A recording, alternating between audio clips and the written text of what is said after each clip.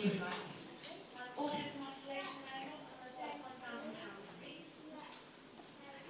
minutes starting now. Autism isolation no more, preventing isolation for families affected by autistic spectrum disorder. Today we are asking for funding of £1,000 to continue to provide this much needed service. This will provide another year including venue, website, covering all costs, allowing us self-sustaining in the future.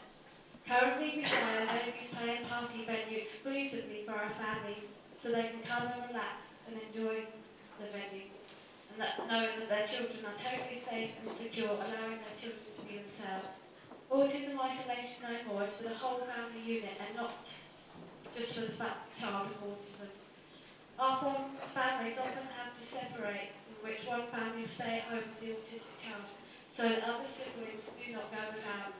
The families often become prisoners in their own homes, withdraw from society and become very depressed.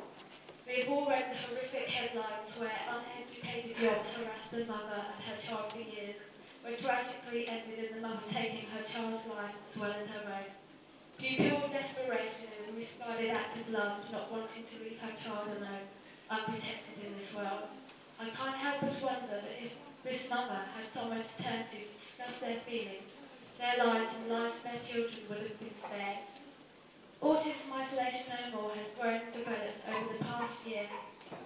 We currently support 26 adults and 39 children. We provide information on local relevant events like Autism Australian Students and Gateway events. We also have guest speakers to help us keep up to date on important issues. We celebrate any positive achievements made by the members. I'm shaking so much. um, by awarding them the Autism Gold Award, which also helps to raise morale. We have also introduced the chill area for when it gets too much for the children with sensory issues. At Autism Isolation No More, we are there, if only for a phone call, text or email, because sometimes just knowing that someone cares is just that little help to get you through the day. To a brief statement from one of my mothers. Being the mother of an autistic child can be like going to a new planet and learning a new way of living and communicating. At first it can be very isolating and scary, as others don't have a clue what you're saying or doing, but eventually, when you learn how to cope, it can be very rewarding.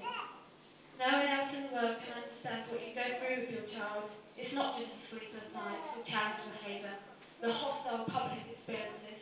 It's the constant paperwork that makes you relive every hospital appointment incredibly, only the people in the same situation can understand what it's like.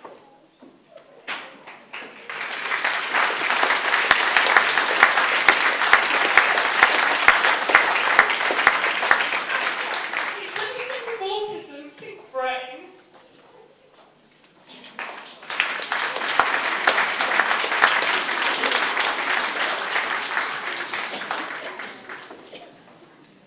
Has anyone got any questions?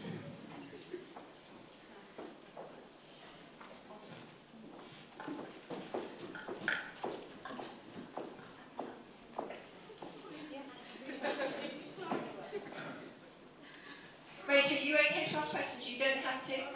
Sure? Deep breath, brave girl. Sorry, I'm shaking so much. Any questions? Okay, Rachel, thank you very much. Um, it's lovely to hear your reports. Can I ask how many there are of your t- the, the team number supporting these these 39 children and 26 adults? Just you. Yeah. Well, they have a little group. I'm the main leader of the group. I... So are you doing it full time or part time or? uh, well, we do it once a month, and then we also do coffee mornings as well. I'm a mother of an autistic child. I have two children on the autistic spectrum, and I also